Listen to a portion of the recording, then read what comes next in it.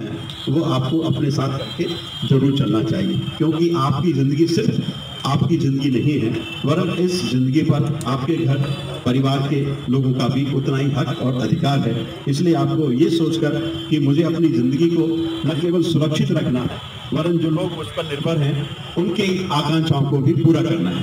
तो बिल्कुल सुरक्षा के साथ अपनी गाड़ी को चलाइए और अपने आप को सुरक्षित रखिए और सड़क पर जो लोग चल रहे हैं, उनको भी सुरक्षित रखिए।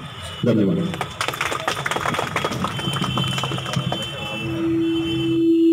Safe drive safe life safe drive safe life ये आपका संदेश है, पहलवान जी का। दुपहिया वाहन चलाएँ तो हेलमेट ज़रूर पहने।